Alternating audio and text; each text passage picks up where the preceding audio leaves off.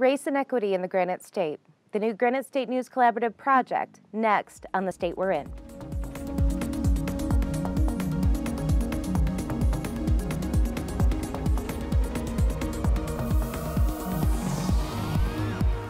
Hello, welcome to the state we're in. I'm Melanie Plenda. Joining you today from the television studio at Franklin Pierce University in Rindge, New Hampshire. The partners of the Granite State News Collaborative, Collaborative are launching a new multi-year project exploring race and equity in New Hampshire. To discuss this initiative and the thinking behind it, we're joined by three members of our partner organizations participating in the project. Steve Leone of the Concord Monitor, Matt Mowry of Business New Hampshire Magazine, and Carol Robidoux of Manchester Ink Link. Welcome, everyone. Thank you. Hi, Melanie. So let's talk a little bit about this project as a whole. What is it and what are some of the goals? Steve, why don't we start with you? Yeah, so this project is really, I think, a uh, broad effort by many members of the New Hampshire journalism community to really just put some context around a major issue that's happening nationally and in New Hampshire, and and find ways that uh, we can work on this issue uh, in collaboration in ways that uh, we wouldn't necessarily be able to do individually. Matt, how about for you? Why, what is this project for you, and why is it? In, uh, what are some of the goals do you think of this project? Well, I, I, think it's such an important time right now as our nation comes to yet another reckoning around race. Mm-hmm. And in New Hampshire, we're unique in that we have a, a population that is racially not balanced. Uh, we're 92% white. And so I think it's important that we come together at this time and explore issues of race and what does it mean for New Hampshire and how do we move forward from here. Mm, and Carol, how about for you? What are your some, some of your goals um, when it comes to this project and why do you think it's so important, particularly in New Hampshire? Yeah, I mean, coming from Manchester, we have um, a very diverse population per capita compared to other places in New Hampshire. So it's it's been an important issue here, but one that we haven't, I don't think, really addressed head on when it comes to making sure that voices are amplified that haven't been previously heard. Um, we have a lot, a lot of students coming into our school systems who are learning English as a second language and parents coming from very different cultures. And, and yet there's not really any um, process in place here in Manchester to make sure that the broader community understands what it is to um, have to assimilate into a new culture and what people from other cultures can bring to our understanding of the world. So this is a really interesting chance for us here in New Hampshire as a media collaborative to make sure that voices are being heard, that stories are being told, and that we are not trying to divide people by talking about race, but that we're actually trying to build bridges of understanding. Mm. And Steve, why should our readers, viewers, and listeners care about this work? You know, I think it's really just as simple as you live in a community, and if you care about the health of the community, you really ought to care about people in the community and and value perspectives. Mm-hmm. And I think that's what uh, local journalism has always tried to do is is kind of to be the hub of information, uh, to be a place where people can debate. Oftentimes, perhaps disagree on issues, but still have civil debate and discourse uh, and and out the people that live in your community. I mean, I think local journalism tries to be a reflection of the people who live there and the issues that they're facing. And you know, this is really just a more concerted effort to just make sure that we're we're, we're doing that well, and that we're doing it well at a time where it really needs to be done well. Because you know, I think we're we're at an important moment. I think we need to recognize that. And kind of speaking of local journalism, you know, needing to reflect the communities that it serves. Um, Matt, I know you're going to be involved in engagement in this in this project. Talk a little bit about, um, you know, our our newsrooms as a whole are not very diverse, but talk a little bit about the role of bringing, um, you know, communities of color and their voices into the project and the engagement portion of the of the project. Absolutely. I think it became apparent very early on in this process that while it was an important topic for us to discuss mm-hmm. and, um, and, and, produce stories about, uh, that the people around the table were all white.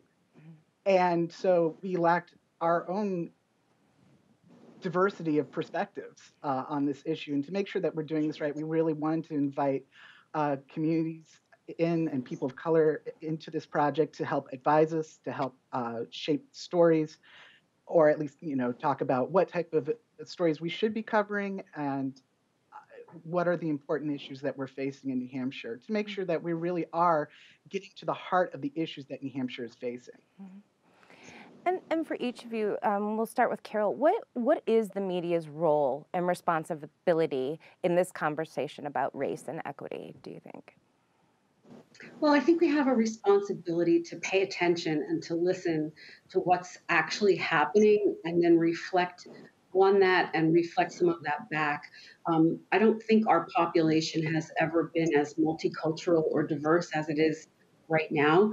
And so when the Black Lives Matter movement sort of you know amplified last year it wasn't that it was a new message. We've had um, civil rights and Black Power, and um, it's it's not that it's a new message, but we have a younger generation right now that that really resonates with, and I think it's up to us as the media to listen and to understand what the some of the gaps are, and and make sure that people's um, lives are being portrayed for what they are, and then we have to do better at learning what we, we don't know what we don't know. So we need to find out uh, what it is that we don't know and try to bring that understanding to our readers who may or may not have a lot of understanding or experience with people from other cultures and other races.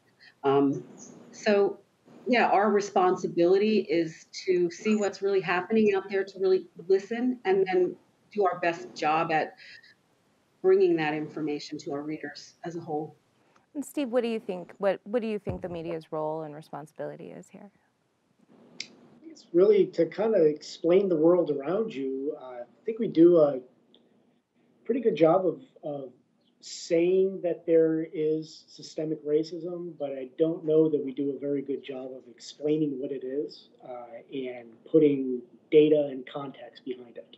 Right. So I think that's one of the things we really need to do is we need to look at our institutions, look at our healthcare, uh, look at our education, look at our policing, and say, okay, well, let's let's take a look and see where maybe things are deficient, and then take that a step further and say, okay, well, how are other communities handling these issues? Mm-hmm. And to me, I think that's that's kind of at the core of really what we need to do is apply data to this issue in a way that helps people understand when we use phrases like systemic racism, racism, what that means and, and how that is is unfolding in their own communities. Matt, what do you think? What are your thoughts on that? Uh, you know, there's so much polarization around this issue, and there's so much misinformation about um, what's going on in our country around race and and trying to address it. That I think it's important that we as journalists provide data and an impartial view of these issues, and so that people can enter into constructive dialogues about race in in New Hampshire and and how we move forward as a state. Mm-hmm. And, and kind of looking ahead, can you each talk about what stories you are hoping to cover kind of in the weeks and months ahead as, as we all kind of embark on this project? And Steve, I'll, I'll start with you.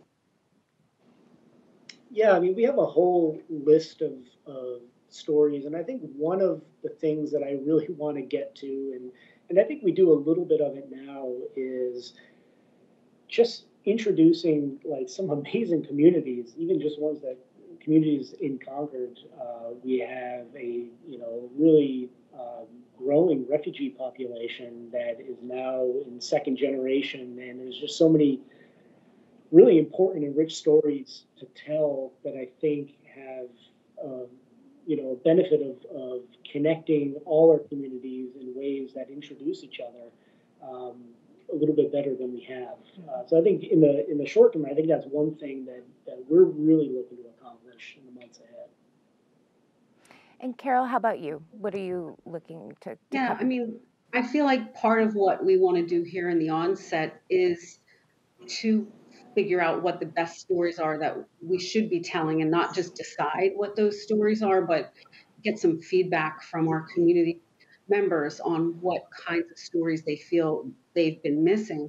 Um, but I think as Steve was talking, it made me think about something that we don't really talk about so much anymore. There was a time when you would hear the word melting pot associated with the United States of America, and that was what made us so unique.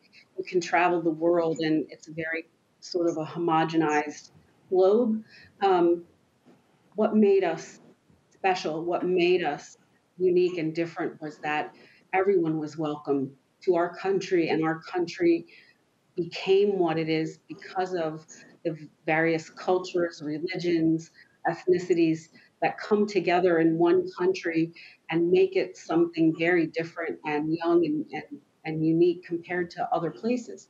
So then, have we lost sight of that? And if we have, how do we return to a place where we celebrate our differences and understand our differences and and reinforce that throughout the differences it doesn't have to divide us we just have to find a place where we can all learn to live together and appreciate one another as Americans. And that's a tall order, you know, especially when you're coming at it from a solutions journalism process, which is what we hope to do.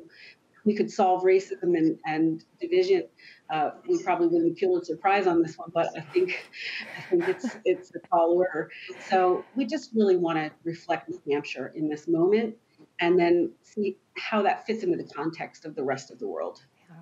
Exactly. And and Matt, how about you? I know you've been doing work like this for the past several years uh, in your magazine. So what's Mhm. what's next that you're going to be looking at? Well, as a business magazine, we always approach our stories from an economics point of view. And so we're going to be taking a look at what are some of the economic challenges and barriers people of color may face in our state and what is being done to help overcome those barriers.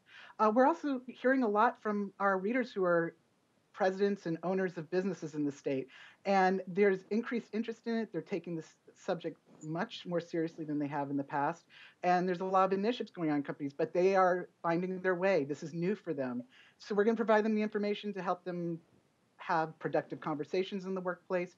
Uh, they want to cast a wider net to attract a more diverse talent pool, especially in this workforce shortage we face in New Hampshire. Uh, we're going to explore those issues. So there, there's a lot of interesting topics coming up for us in Business New Hampshire Magazine. Excellent. Matt, Steve, and Carol, thank you all so much for joining us today. Thank you. Great, thank you. Thanks for having us.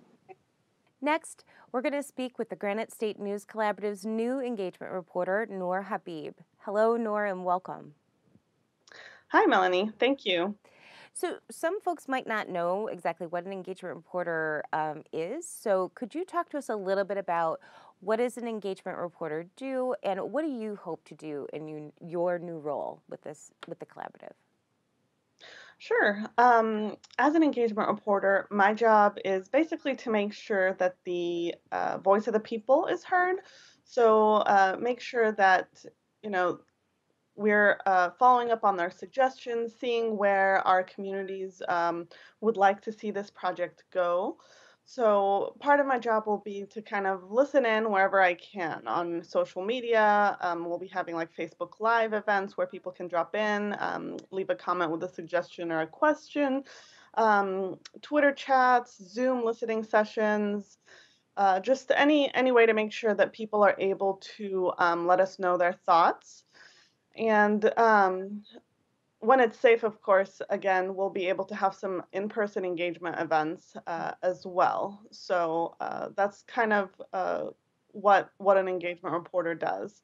Uh, as for me with this project, I uh, really want to hear from people, uh, especially in our uh, communities of color. I want them to tell their own stories um, and feel that they have a hand in kind of driving where this project is going. And while we've got um, some focus areas that we've identified, um, like you know affordable housing or education, we do want to um, hear from them and let them drive w- what kind of stories we tell on on those topics. Mhm. Excellent. And and in terms of that, kind of kind of going off of that, what are some of your ideas or your goals even for that for outreach with this race and equity project? And and what are some of the Um, ways, yeah, what are some of the ways you hope to connect with diverse communities of color in New Hampshire? uh, well, I'd love to hear from them, you know, by email, um, through our newsletter. We have a new newsletter uh, focusing on this race and equity project that'll be um, going out regularly. It'll have features, um, uh, you know, profiles of people. So people um, are welcome to participate however they feel comfortable participating, uh, whether that's being part of like an edit team to um, help us uh, determine what stories that we, sh- we should be telling or, um, you know, suggesting candidates for our profile pieces or uh, however, you know, if it's a if it's a new and different way that they would like to participate, we are open to hearing from them um, and uh, moving forward with their ideas. Why do you think that this is an important project to be doing right now? What what do you hope that just broad more broadly people are able to take away from the work that you do through this project? I'm hoping people, um, you know, recognize the uh, great diversity we have in the state and are able to, um, you know, hear f- directly from communities of color um, who share their own stories. And I think a lot of people are excited about this this project. I've already, you know, we only launched about a week ago, but I've already started hearing um, from people who've been reaching out through email or on um, Twitter and other social media saying that this this project is um, long overdue and they're excited to participate and just kind of see where things go. So I think um, the state is definitely ready for this project, and I'm excited to kind of um, be working with the community on it. Excellent. Well, Noor Habib, the Granite State News Collaborative's new engagement reporter, thank you for being a part of this project and thank you for being here. Thank you for having me. And thank you for watching. We'll see you next time on The State We're In.